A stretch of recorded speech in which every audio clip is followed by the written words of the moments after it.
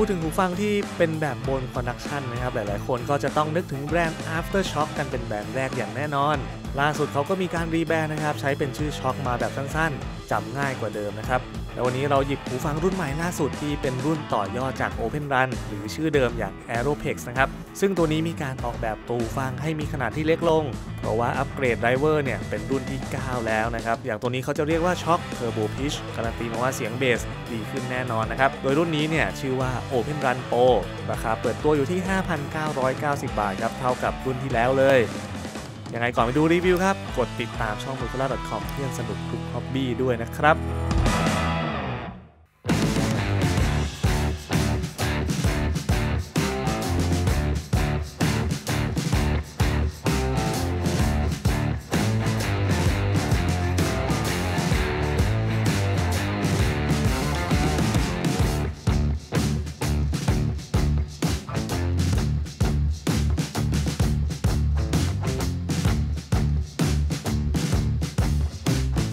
สำหรับภาพรวมและดีไซน์นะครับ ตัวหูฟังเนี่ย วัสดุใช้เป็นพลาสติก ผสมกับซิลิโคน soft touch ภายในเป็นก้านไทเทเนียม ยืดหยุ่นและแข็งแรงทนทาน จะพลิกจะหมุนด้านไหนก็ไม่หักง่ายๆ แน่นอนครับ ด้านน้ำหนักนะครับ ค่อนข้างเบาครับ เพียง 28 กรัมเท่านั้น มีปุ่มควบคุมอยู่และช่องชาร์จแบตแบบแม่เหล็กที่กล่องเล็ก ๆ บริเวณด้านขวาของหูฟัง และปุ่ม multifunction ที่ด้านซ้ายด้วยนะครับ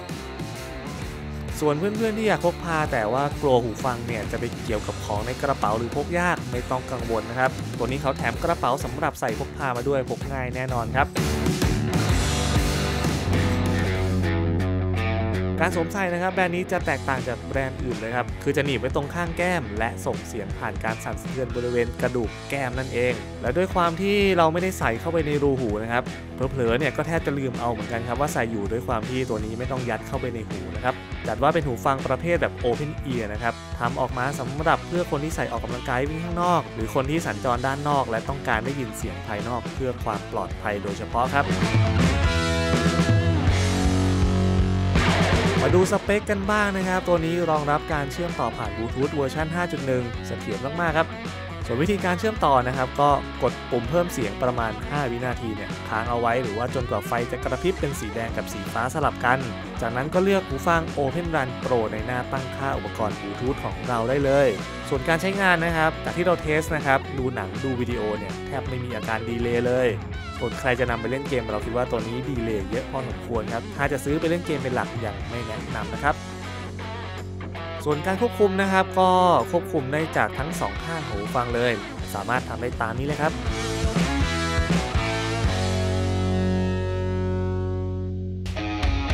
ฟังแบบนี้เห็นเป็นทรงแปลกๆนะครับ แต่ภายในเขาจะมีไมโครโฟนข้างละ 2 ตัวที่สามารถตัดเสียงแทรกหรือเสียงรบกวนภายนอกได้เป็นอย่างดีนะครับ เอาไว้ใช้คุยงานคุยประชุมงานหรือว่าคุยโทรศัพท์ ก็ทำได้จากหูฟังตัวนี้เลยครับ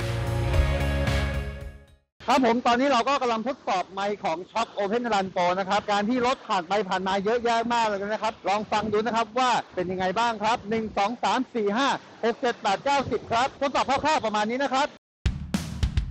สำหรับสเปคนะครับ เริ่มที่การกันน้ำครับ ให้สเปคมามาตรฐาน IP55 โดนเหงื่อโดนฝน หรือว่าโดนน้ำสาดแรงๆ ก็ไม่มีปัญหาครับสำหรับตัวนี้ ส่วนด้านแบตเตอรี่ครับก็ไม่ขี้เหร่เลยครับ ใช้งานได้นานถึง 10 ชั่วโมง และยังรองรับการชาร์จไวเพียงชาร์จแค่ 5 นาทีครับ ได้แบตมาใช้ 1 ชั่วโมงครึ่งเลยครับ ต่อกันที่ตัวแอปพลิเคชันนะครับสำหรับตัวนี้เนี่ยก็เป็นหูฟังตัวแรกของแบรนด์ที่สามารถใช้งานแอปพลิเคชันได้นะครับพอเข้าไปด้านในนะครับมันก็จะสามารถบอกแบตเตอรี่ตัวหูฟังได้นะครับส่วนใครที่ไม่พอใจเสียงครับอยากจะปรับ EQ เสียงตรงนี้เลือกได้นะครับระหว่าง Standard และก็ Vocal นะครับแต่จะไม่สามารถปรับอื่นๆ เพิ่มเติมได้แล้วนะครับก็จะได้แค่ 2 อย่างเท่านั้นนะครับตรงนี้นะครับก็จะเป็น Multi Point Pairing โดยสามารถเปิดการใช้งานให้เชื่อมต่อพร้อมกันได้สูงสุด 2 อุปกรณ์ ตรงนี้เราก็เลือกเชื่อมต่อ ในหน้านี้ได้เลยครับ รวมๆแล้วนะครับ ตัวนี้ถือว่าเทคโนโลยีล้ำที่สุดตั้งแต่แบรนด์ช็อคหรือว่า After Shock เนี่ยเคยทำมาเลยครับ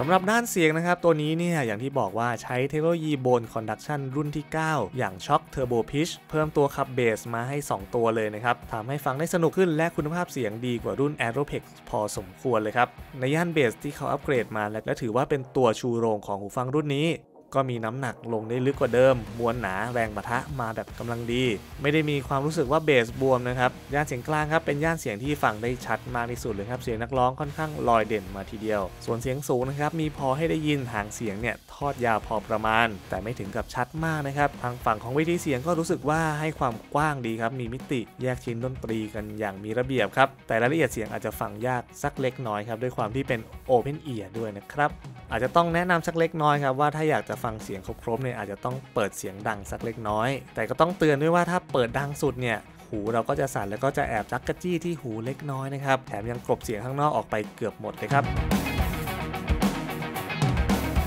ก็ขอสรุปเลยครับหูฟังช็อค Open Run Pro ครับก็ไม่ได้โดดเด่นเรื่องเสียงนะครับ แต่จะโดดเด่นเรื่องของการใช้งานที่เป็นแบบ Open Ear พวกเราคิดว่าตัวนี้น่าสนใจมากๆครับ และในตลาดครับมีอยู่ 2 รุ่นนะครับที่เป็นแบบ Open Ear ก็คือตัวนี้ แล้วก็ Sony Link Bud ครับราคาก็ใกล้ๆกันด้วย เหมาะกับคนที่ต้องการได้ยินเสียงข้างนอกระหว่างฟังเพลง ใช้ได้หมดเลยครับเอาไปใช้วิ่งใช้ปั่นจักรยานใช้นั่งทำงานในออฟฟิศหรือแม่ค้าที่ขายของในตลาดครับเอาไปใส่ขายของแล้วก็ฟังเพลงไปด้วยอย่างได้ครับ แต่ก็จะมีข้อควรระวังนิดหน่อย2อสข้อนะครับอย่างแรกเลยก็คือตัวหูฟังเนี่ยจะเปิดใช้งานตลอด ไม่มีการปิดให้แบบออโต้เมื่อไม่ได้ใช้งานนานๆครับถ้าถอดแล้วลืมปิดตรงนี้อาจจะเจอแบตหมดได้นะครับข้อต่อไปเลยครับถ้าใช้ในที่เสียงดังมากๆ อาจจะโดนเสียงรบกวนอยู่พอสมควรครับส่วนข้อที่3ครับหูฟังมีให้เลือกไซส์เดียว อาจจะไม่เข้ากับการสวมใส่หูฟังสำหรับทุกๆ คนนะครับแต่ส่วนตัวนะครับจากที่ทีมงานใช้แล้วถือว่าเป็นหูฟังออกกำลังกายที่ใส่ได้สบายที่สุดตัวหนึ่งเท่าที่เราเคยใช้มาเลยครับ